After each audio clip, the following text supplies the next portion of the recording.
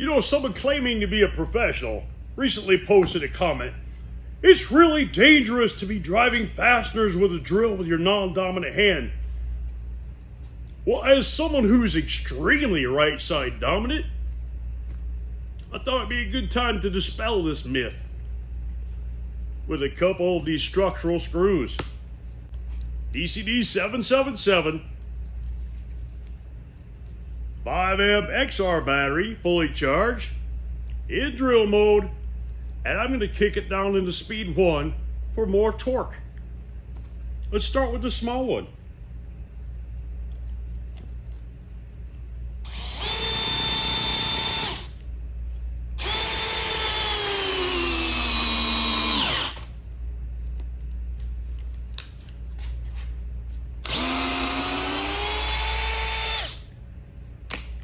Now for the bigger one.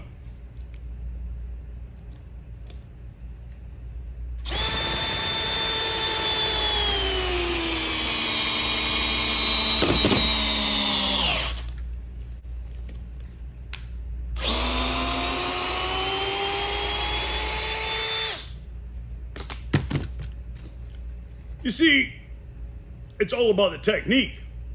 This isn't high school shop class. If special forces, military, and law enforcement train with their non dominant hand, why shouldn't professional carpenters?